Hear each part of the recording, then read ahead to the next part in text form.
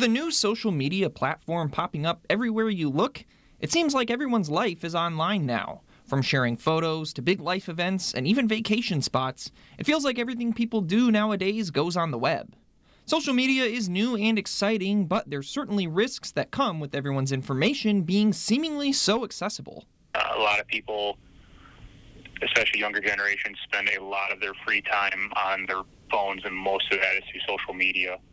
Uh, I've read reports people are touching their phones thousands of times a day, checking them hundreds of times a day, and it's mostly due to social media. When it comes to children and their phones, a lot of parents have the choice to implement screen time limits on their child's phone. There are also apps kids can download to make it look like they're using another app for a period of time, something parents should watch for. They should also have open communication with their kids about their social media usage. Try to get your kids to be honest with you about who they're talking to, and if they have to, restrict their access to social media.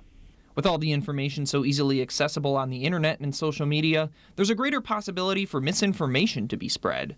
Taking a little time and doing some research can help stop it from becoming harmful. Before they believe what they see or hear or read, do a little bit of fact checking, do a little bit of research. Even five to ten minutes can uh, can make a big difference, and get some better information.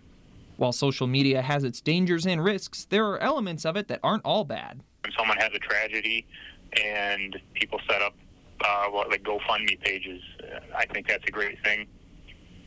People put it out on the media. Uh, I know us as the state police, I think, have done it before. I've seen sheriff's departments do it where they put out information when they're looking for a suspect. Trooper Knath says also to make sure not to share any vital personal information on the internet like addresses or phone numbers.